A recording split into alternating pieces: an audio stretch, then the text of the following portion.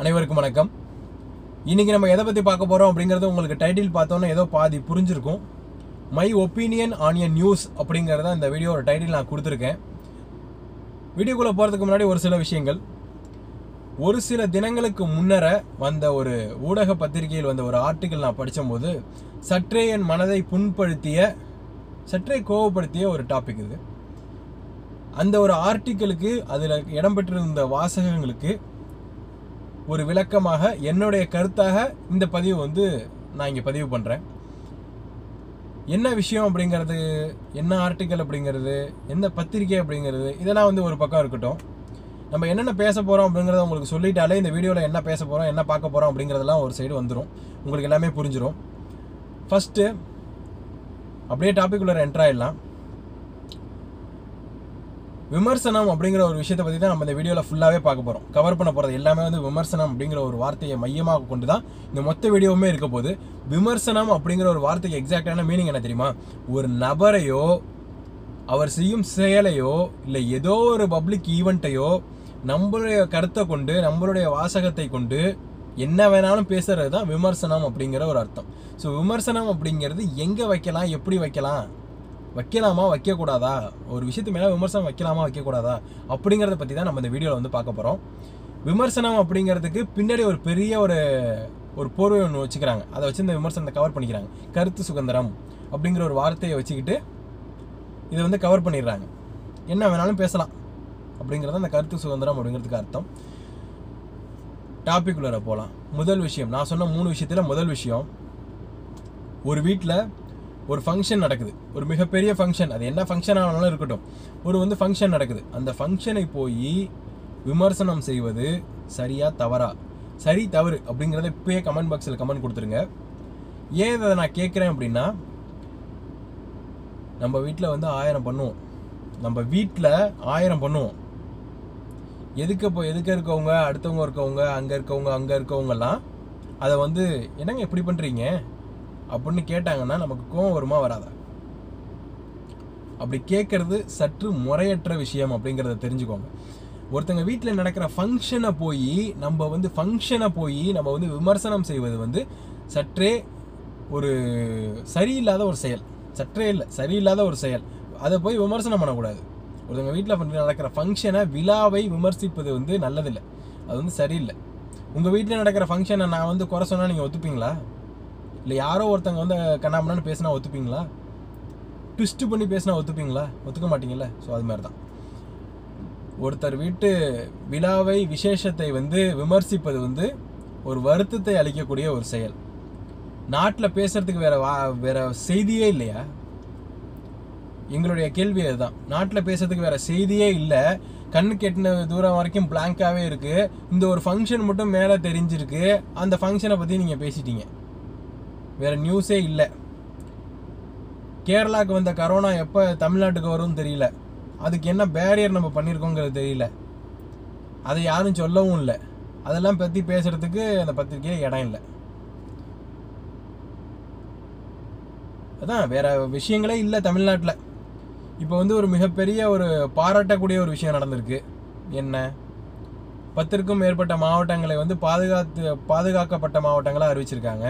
அதை பற்றி ஒரு ப்ரீஃபாக ஆர்டிக்கல் எழுதுகிறான் அங்கே என்ன ஒரு முக்கியத்துவம் இருக்குது அப்படிங்கிறத எழுதலாம். இந்தமாரி நிறைய விஷயங்கள் தமிழ்நாட்டில் இருக்குது பாசிட்டிவான விஷயங்களும் இருக்குது நெகட்டிவான விஷயங்களும் இருக்குது உண்மையிலேயே விமர்சனத்துக்குரிய விஷயங்களும் இருக்குது விமர்சி இதை வந்து விமர்சித்தே ஆகணும் கண்டிப்பாக அப்படிங்கிற விஷயங்களும் இருக்குது இதெல்லாம் விட்டுட்டு ஒருத்தங்க வீட்டில் நடக்கிற ஃபங்க்ஷனை விமர்சிப்பது ரொம்பவே ரொம்பவே ரொம்பவே மனதை புண்படுத்தக்கூடிய ஒரு செயலாக இருக்கிறது அப்படிங்கிறத தெரிஞ்சுக்கோங்க. ரெண்டாவது விஷயத்துக்கு போவோம். இங்கே வந்து நான் சொன்ன மையமான ஒரு கருத்து ஒருத்தங்க வீட்டில் நடக்கிற ஃபங்க்ஷன் ஈவெண்ட்ஸை ஃபங்க்ஷன் ஈவெண்ட்ஸை வந்து விமர்சிப்பது மிக தவறான ஒரு விஷயம் அப்படிங்கிறத நான் இந்த இடத்துல வந்து சொல்லிக்கிறேன். ரெண்டாவது விஷயம். ஸோ இது வந்து ஒரு அரசியல் சார்ந்த விஷயமா இருக்க போது நம்ம தமிழக அரசியல் அப்படின்னு பார்த்தோம்னாலே நைன்டீன்த் சீரீஸ் ஸோ அந்த இடத்துல என்ன பண்ணுவாங்க அப்படின்னா அங்கே தான் வந்து பிள்ளையார் சொல்லி போட்டிருப்பாங்க நம்மளோட தமிழக அரசியலுக்கு. ஏற்கனவே நம்ம ஒரு வீடியோ ஒன்று பார்த்துருக்கோம். தமிழக அரசியலின் வரலாறு அப்படிங்கிற ஒரு வீடியோ வந்து பார்த்துருப்போம். ஸோ போட்டிருக்கேன். ஸோ அதையும் வந்து போய் பாருங்கள் தமிழக அரசியல் எங்கேருந்து வந்து துளிர் விட்டு முளைச்சது எவ்வளோ பெரிய மரமாகி அதுலேருந்து எத்தனை கிளைகள் தனித்தனியாக பிரிஞ்சுது அப்படிங்கிறது திராவிடம் அப்படிங்கிற ஒரே ஒரு வார்த்தை திராவிட இயக்கம் அப்படிங்கிற ஒரே ஒரு மரத்திலேருந்து வந்தது தான் இன்னைக்கு இருக்கிற அவ்வளோ கிளைகள் அவ்வளோ கட்சிகளும் வந்து திராவிட இயக்கத்திலிருந்து வந்தது தான் அதனால ஒருத்தருக்கு இன்னொருத்தர் வந்து ஆதரவு மறைமுக ஆதரவு நேரடி ஆதரவு அப்படிங்கிறதெல்லாம் கிடையாது. தமிழ்நாட்டில் இருக்கிற அரசியல் அரசியல்வாதிகள் எல்லாருடைய மைய கருத்தாமல் என்னவாக இருக்கும் அப்படின்னா தமிழகத்திற்கு ஏதாவது செய்ய வேண்டும் தமிழகத்துக்கு மக்களுக்கு ஏதாவது செய்ய வேண்டும் நான் தலைமையாக இருந்து செய்ய வேண்டும் அப்படிங்கிறது தான் ஒரு மைய கருத்துமாக இருக்குமே தவிர்த்து இதுக்கு பின்னாடி வேறு எதுவுமே இருக்காது. தமிழ்நாட்டுக்கு தானே செய்ய போகிறாங்க இது எல்லாத்துக்கும் பின்னாடி திராவிடம் அப்படிங்கிற ஒரு விஷயம் தான் இருக்கும். பட் இதை தாண்டி இவங்களுக்கு அவங்க சப்போர்ட்டு இவங்களுக்கு இவங்க சப்போர்ட்டு அது இது அப்படிலாம் வந்து சொல்கிறது வந்து இதுவும் வந்து கேட்கறதுக்கு வந்து கொஞ்சம் சற்றே வருத்தத்தை அளிக்கக்கூடிய விஷயமா இருக்குது இவங்க வந்து அப்படி அவங்களுக்கு ஆதரவாக பேசிட்டாங்க. இவங்க இவங்களுக்கு ஆதரவாக பேசிட்டாங்க. இவங்களும் அவங்களுக்கு எதிரி அப்படிங்கிறதெல்லாம். எதிரி அப்படிங்கிறதெல்லாம் இங்கே எதுவுமே கிடையாது. எதிரியும் கிடையாது. என்ன டாமஞ்சேரியா? அப்படிலாம் இல்லையே. அப்படிலாம் எந்த ஒரு விஷயமே கிடையாது. ஆக்சுவலாக இந்த தமிழக அரசியல் அப்படிங்கிறதுக்கு அடிப்படையாக இருந்தது வந்து திராவிடம். மக்களின் நெறி. மக்கள் இப்படி தான் இருக்கணும் அப்படிங்கிறது. சுயமரியாதை இயக்கம். இதுதான் வந்து ஒருத்தரை வந்து உணர்ந்து கொள்ளணும். நீ நீ தான் உனக்கு தேவையான விஷயத்தை நீ கேட்டு வாங்கிக்கோ. உன்னோட சுயமரியாதை வந்து விட்டு கொடுக்காத. இப்படிலாம் ஒரு பல கருத்துக்களை அடிப்படையாக வச்சு தான் இன்றைக்கி நிறைய கட்சிகள் வந்து இயங்கிட்டு இருக்கு. அத்தனை கட்சிகளுக்கும் அடிப்படை திராவிடமாக தான் இருக்குது ஸோ யாருக்கும் யாரும் வந்து சப்போர்ட்டும் கிடையாது. யாருக்கும் யாரும் வந்து எதிரியும் கிடையாது. அவர்கள் அவர்களுடைய பாதையில் அவர்கள் போயிட்டுருக்காங்க. ஸோ அப்போ இந்த கட்சிக்காரங்க அவங்களுக்கு சப்போர்ட் பண்ணிட்டாங்க அந்த கட்சிக்காரங்க இவங்களுக்கு சப்போர்ட் பண்ணிட்டாங்க அப்படின்ற அந்த ஒரு விமர்சனமும் வந்து ஒரு சரியான விமர்சனமாக தெரியவில்லை. இந்த இடத்துல ஒன்று மையமாக ஒரு கருத்து ஒன்று இருக்குது சபை நாகரீகம் அப்படிங்கிறது ஒன்று இருக்குது ஒரு நிறைய பேர் ஒரு இடத்துல வந்து கூடுறாங்க அப்படின்னா அதில் வந்து நிறைய முக்கியமான நபர்கள் வந்து இருக்காங்க அப்படின்னா ஒருவரை இன்னொருவர் வந்து மரியாதை நிமித்தமாக தோழமை நிமித்தமாக ஒரு சில உரையாடல்கள் ஒரு சில வார்த்தைகள் கொடுக்கறது வந்து இயல்பு. இப்போ நீங்கள் நாலுமே நல்ல ஒரு ஒரு பொசிஷனில் இருக்கோம். ரெண்டு பேருமே ஒரு இடத்துக்கு வரோம் அப்படிங்கும்போது இரண்டு பேருமே ஒருத்தரை ஒருத்தர் விட்டு கொடுக்காம ஒரு இடத்துல பேசுறதுனால நீங்கள் எனக்கு சப்போர்ட்டும் நாங்கள் உனக்கு சப்போர்ட்டும் நாங்கள் வந்து உங்களுக்கு சப்போர்ட் அப்படிங்கிற மாதிரிலாம் கிடையாது. சப்போர்ட் ஜாயினிங் அப்படிங்கிறதெல்லாம் எந்த இடத்துலையுமே சொல்லப்படவில்லை. கூட்டு சேருவதும் பிரச்சாரம் செய்வதும் ஆதரவாக பேசுவதும் மூணுத்துக்கும் வந்து வித்தியாசம் இருக்குது அப்படிங்கிறத தெரிஞ்சுக்கோங்க. ஸோ அதில் வந்து வைக்கக்கூடிய ஒரு சின்ன விமர்சனமும் வந்து சற்றே ஒரு வருத்தத்தை தெரிவிக்கக்கூடியதாக தான் இருக்குது மூணாவது விஷயத்துக்கு வருவோம்.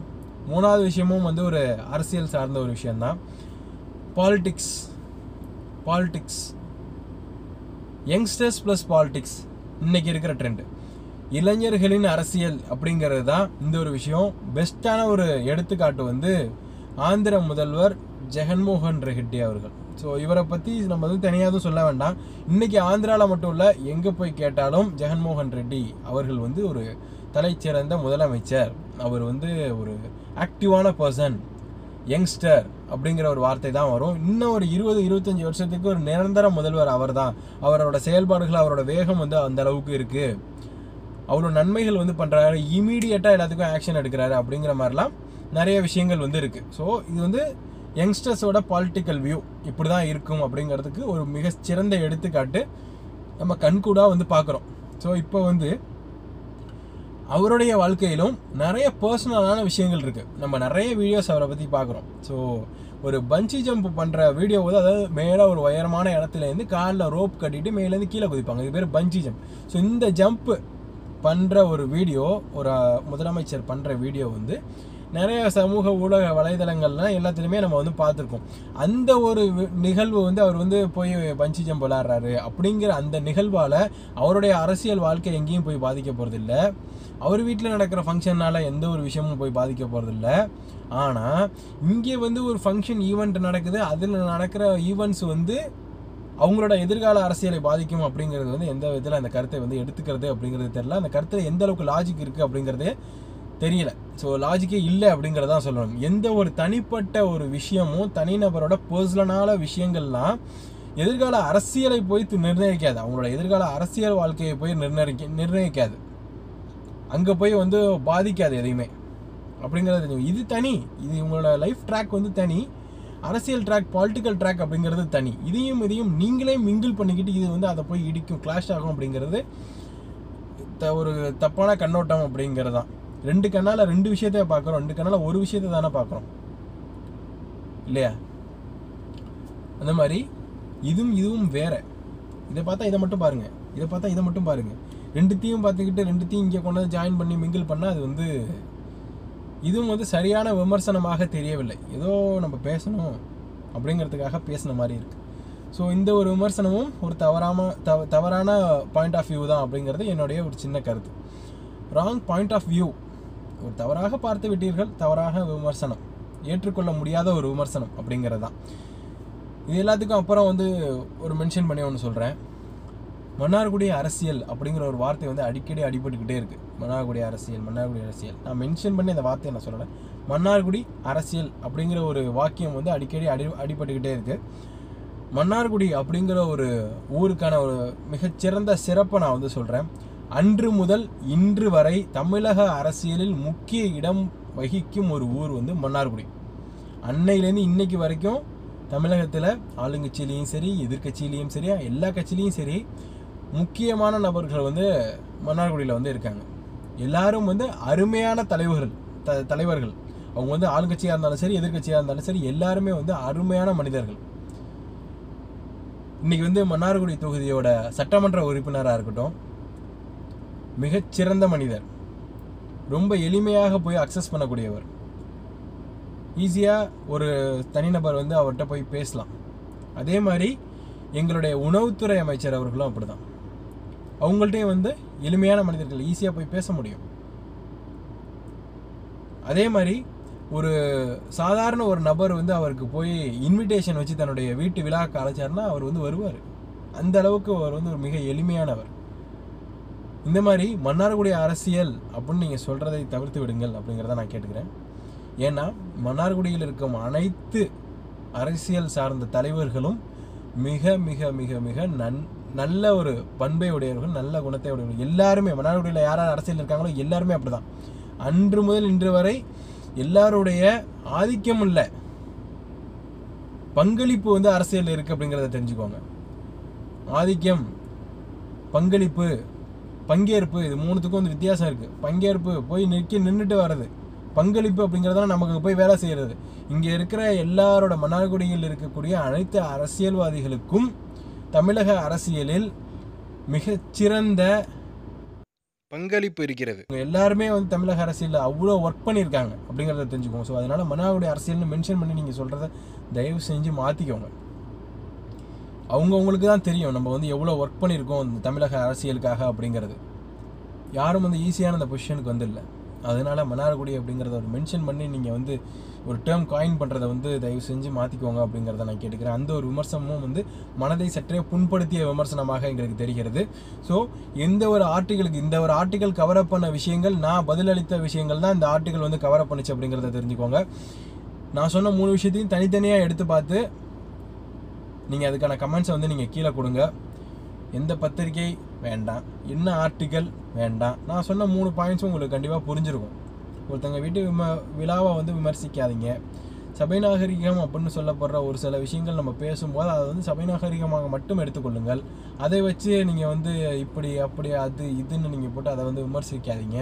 அதே மாதிரி யங்ஸ்டர்ஸ் அப்படின்னு ஒரு பொலிட்டிக்கல் வியூ வருது அப்படின்னா ஒரு தனிநபராக அவர்கள் வாழ்க்கையில் ஆயிரம் விஷயங்கள் இருக்கும். அந்த ஆயிரம் விஷயங்கள் வந்து அந்த பாலிடிக்ஸ் அப்படிங்கிற ஒரு விஷயத்தை வந்து பாதிச்சிடாது அப்படிங்கிறதையும் தெரிஞ்சுக்கோங்க. அப்படி பாதிக்கும் அப்படிங்கிற மாதிரியான உங்களுடைய விமர்சனத்தை சற்றே வந்து மனதை புண்படுத்தியது அப்படிங்கிறதையும் வந்து தெரிஞ்சுக்கோங்க. ஸோ இதுதான் வந்து டோட்டலாக நாங்கள் சொல்ல வந்த பாயிண்ட்ஸ் இந்த மூணு பாயிண்ட் அடிஷனலாக கடைசியில் நம்ம ஊரை பற்றியும் நான் கொஞ்சோண்டு சேர்த்துக்கிட்டேன். ஸோ இன்னொரு இன்ஃபர்மேட்டிவான வீடியோ வந்து பார்க்குறேன். இதுதான் இந்த ஆர்டிக்கல் இந்த ஆர்டிக்கலுக்கான பதில் தான் என்னோடது. ஸோ இன்னொரு இன்ஃபர்மேட்டிவான வீடியோவோட நான் உங்களை வந்து பார்க்குறேன். அது வரைக்கும் உங்களிடமிருந்து விடைபெறுவது உங்கள் நான்.